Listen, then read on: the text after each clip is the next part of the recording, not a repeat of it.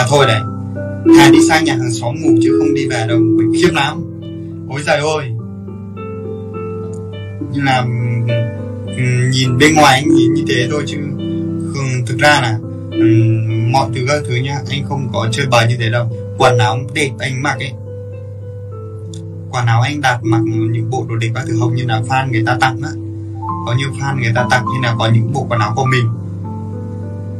Bộ quần áo của mình anh mặc thôi còn đâu là tiền nông các thứ hầu như là anh ấy ờ, sẽ cả làm đến đâu mà anh chỉ, chỉ.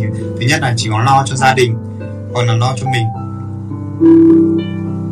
Mình làm như này nhá xong là anh vẫn hỏi lúc nào anh cũng hỏi nhá. Một vài ngày anh lại hỏi là cái cái gì cái gì nhá mình đi đâu chơi thì mình toàn xuống xin tiền này mình ngày, ngày trước anh phá tiền bố mẹ bây giờ là anh gặp quả báo là được thằng em phá tiền của anh. Đấy có thằng em là tốt thế không biết chưa bao giờ mình làm được cái gì mà để cho anh mình tự hào hay là cái gì cả. Mình chỉ có phá thôi. Mọi người thấy đấy. Mình ăn xong mình chỉ có ngủ ăn với ngủ. Mình ăn ngủ xong đi bán bia. Thế chứ này. Nhưng mà nhưng mà mình đi là mình vẫn xin phép đàng hoàng để có phải được không đâu. Nên là um, anh ấy gọi điện có nói trước là mình đang nói chuyện với bố mẹ mình với bố mẹ ruột của mình ấy thì không phải là không phải là riêng bố mẹ anh đạt là bố mẹ mình đâu nha. Mà bố mẹ ruột của mình cũng là bố mẹ của anh đạt luôn. Đấy thì là anh còn nói chuyện với bố mẹ của mình bảo là bố mẹ yên tâm tuấn tuấn anh ở đây là con lo được. À, con ở đây là con nuôi em. Nên là bố mẹ không phải lo nên là bố mẹ mình cũng bớt đi phần nào lo lắng. Tại vì trước là mình ở một mình mà. Trước mình ở một mình trên phố mình quậy phá các thứ các kiểu bố mẹ mình lo đó từ khi về đây là bố mẹ mình không phải lo nghĩ gì cho mình nữa. Nhân bố mẹ mình yên tâm kiểu cảm giác mà bố mẹ mình yên tâm ý, thì mình mới thấy thật sự là um, nó cái kiểu là bố mẹ mình yên tâm thì mình thấy nó ấy lắm nó sướng lắm. Chứ không phải là lúc nào cũng lo nghĩ là khóc than khổ vì mình đâu. Kia mẹ mình phải khóc vì mình nhiều lắm. Từ lúc đi học từ lúc đi học mình đã phá rồi. Là mọi người phải biết làm gì có học sinh nào mà đánh cả thầy giáo như mình. Thật. Mình với anh mình nó, hai con hai con người trước kia hầu như là trước kia là phá phá nghịch, phá kinh khủng khiếp lắm. Ừ. năm mình đi học nhá. Năm mình đi học. Năm mình đi học, mình còn đang ngủ dưới.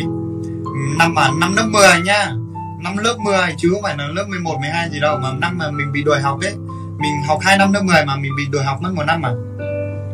Mình đang ngủ dưới uh, dưới bàn cuối cùng. Thì thằng bên cạnh nó bảo này thầy giáo bảo là mai mày mời phụ huynh kìa. Mình mắt nhắm mắt mở. Mình không biết một cái gì hết. Mình đang ngủ mà ngủ ngon lắm. Nó xong mình cầm quyển sách mình ném một phát thẳng vào thầy giáo luôn. Bướng lắm đấy đùa đâu. Xong bị chửi mình mất nói tung luôn đấy. Xong bạn này kêu là tại sao lại mời mời phụ huynh mình? Xong là bạn là cái gì mà, cái gì gì gì xong mình bỏ mẹ về luôn. Mình bỏ về, mình đi đánh điện tử. Mình đi đánh điện tử biết một tuần liền. Cứ đến điểm danh cái xong đi đánh điện tử. Thế là bố mình bố mình đi tìm mình ở quán, đi tìm mình các quán điện tử là cuối cùng là vẫn tìm thấy. Thằng bố mày này quảng cáo ta đang đến giai đoạn bố tao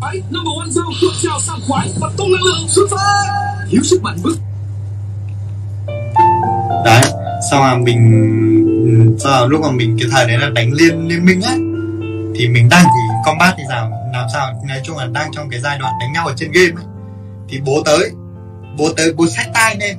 Sách tay từ đằng sau, mình đang mải game, mình có biết gì không? Mình tưởng là bạn mình đến, mình hất mạnh tay ra. Xong là tát đẹp vào mặt một cái, mình quay sang chửi, úi giời ơi, gặp ngay bố mình. Thứ nhất là riêng ai những bố mẹ, anh chị không bao giờ mình chửi, cãi chửi gì đâu. Thế là bố nôi về mẹ thì đang đốt sách vở ở ngoài sân. Thế là hôm sau bố rước mình lên sơn la. Bắt đi làm.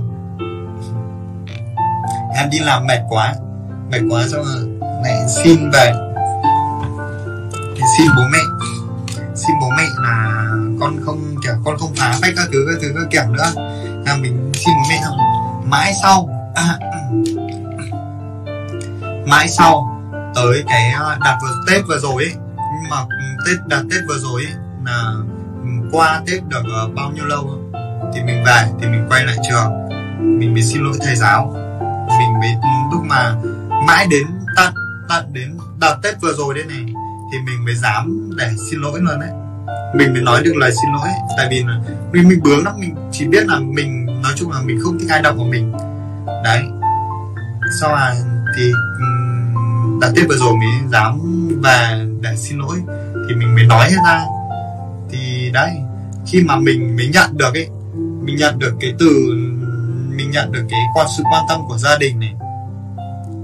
Gia đình mình này khi mà nhận được cái quan tâm mà từ một cái người mà chả có ruột thịt gì cả. Đấy là anh đạt đấy thì là nói ra hết các thứ là mình nói đúng nói sai. Chứ tính mình nó thế mà mình mới uh, tự suy nghĩ rồi đi về nhà. Xong đi về nhà. Xong là nói chuyện với bố mẹ. Xin lỗi bố mẹ. Bảo là từ giờ là con uh, đây chịu có làm ăn các thứ không phải để bố mẹ buồn. Về nó kia là mình xuống cả trường nữa. Mình xin lỗi thầy giáo cơ. Nhưng mà do là là đi tóc tai có màu mè nên là không biết xin lỗi có đồng ý hay không chứ nhìn nó vẫn còn phà lắm. Đấy sao mà, công việc của em là như thế nên là em mới nhỏ tóc thôi. Mình nói phết ra thế chứ thì mẹ có công việc nào đâu mình thích thì mình nhọ như có gì đâu.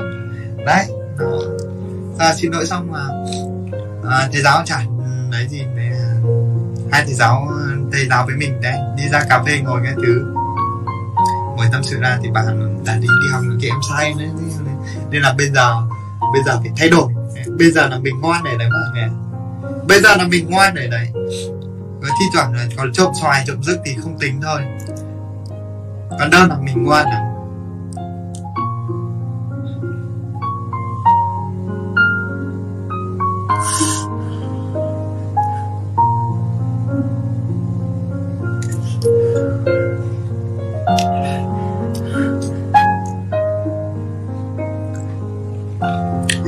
Khi nào bây giờ đã đập cửa nhà bên kia bảo là em xin lỗi em để, để trộm xoài nhà anh mấy ngày hôm nay. Mẹ 11 rưỡi sang nó đấm mồm nhờ nha yeah. thôi. Tới đấy thôi. Đấy nói chung là mình bừa lắm à, à. mình phá người thì phá người thì chỉ có giải mới đỡ được mình thôi chứ không ai đỡ nổi. Thật sự luôn riêng nói về độ phá các thứ thì chỉ có giải mới đỡ được cho mình chứ không ai làm gì không ai đỡ được. Kiểu nó bị nó ngấm vào máu ấy nó bẩm sinh hay sao ấy.